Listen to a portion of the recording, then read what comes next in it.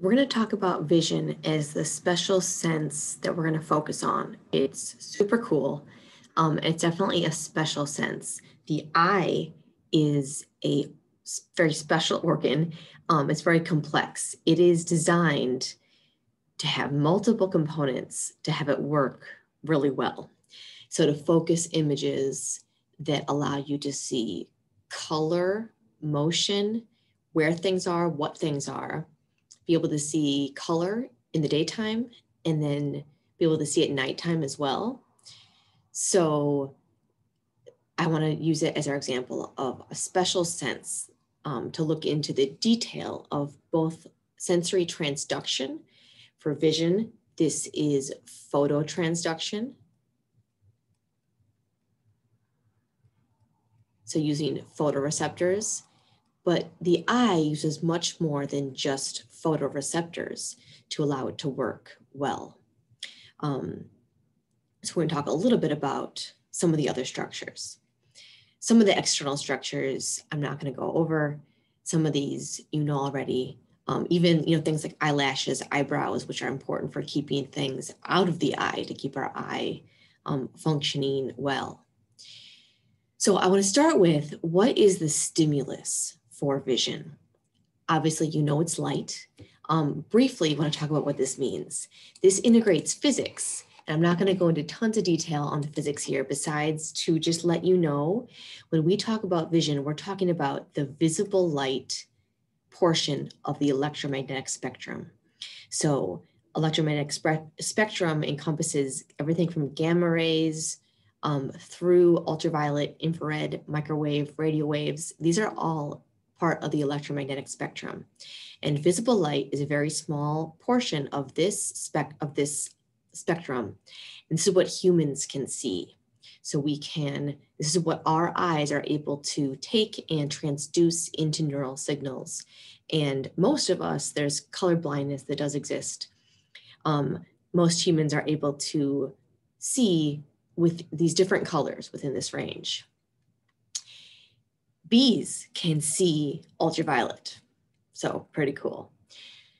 Um, so light is actually detected as photons um, that are going to literally hit the photoreceptors and change protein conformation to be able to allow us to perceive different wavelengths of light.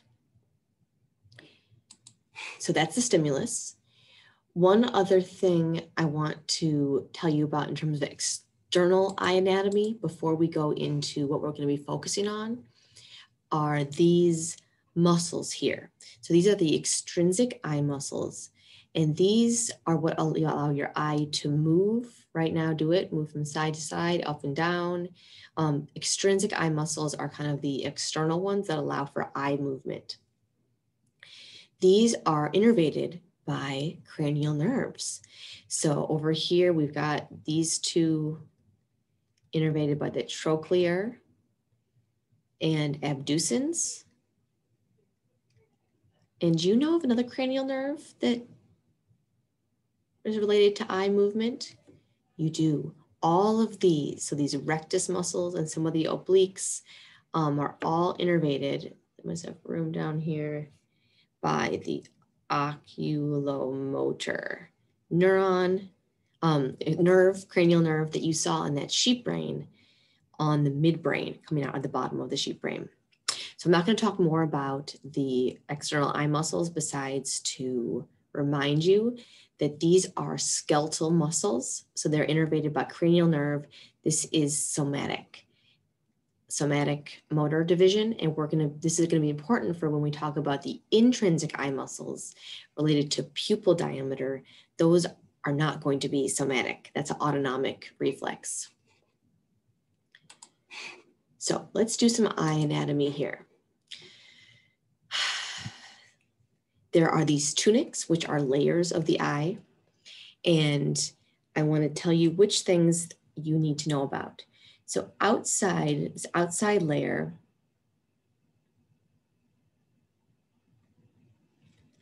here, this is actually the white of your eye.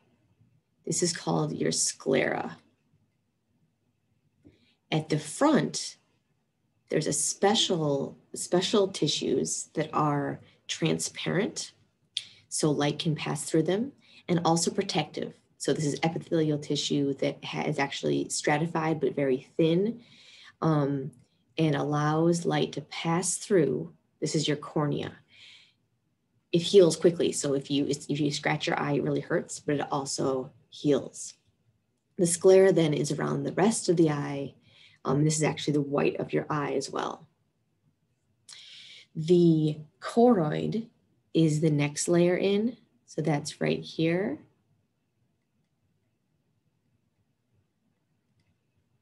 This is going to provide nutrients um, to the eye. And then underneath that, we've got our most important layer, our retina.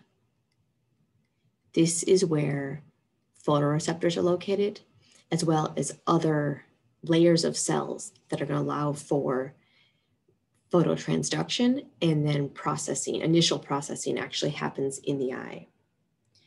So um, this will be the focus of lecture, the retina. So those are the layers. We also have some other important structures here. So light's gonna be covering, coming in, it's my little light symbol, from the external environment. It's gonna pass through this region right here.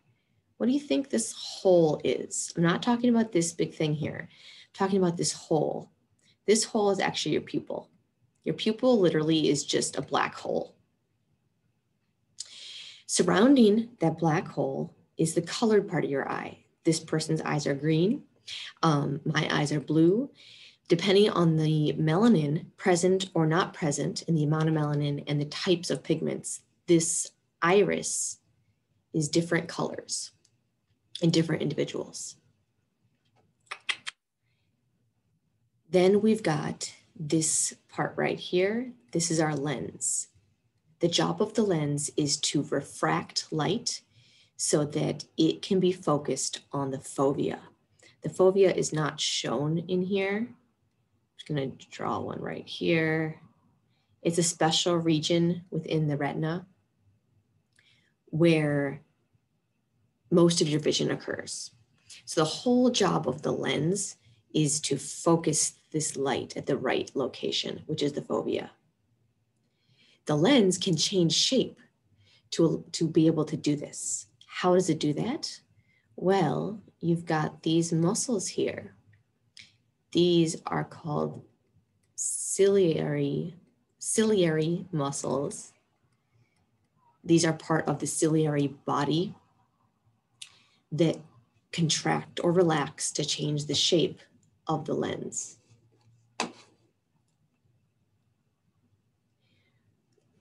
When, so phototransduction is going to occur at the retina, and then that information is going to travel to the brain via what?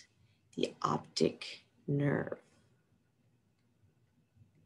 A cranial nerve that crosses at the optic chiasm, becomes optic tract. Come back to that. You've seen it in lab, right? This region right here, where the optic nerve is located in the eye, is called the optic disc. This is going to be a place where phototransduction can't take place. Again, I'll come back to that. Let's see, a couple more terms here.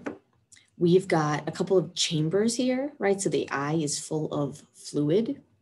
Um, this is the posterior chamber.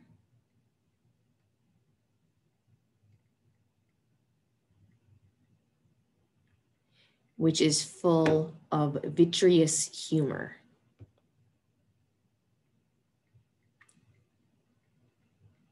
That humor is a liquid. The anterior chamber is in front of the lens. It's anterior to the posterior chamber. And it is full of aqueous humor. A little bit more watery than our vitreous humor.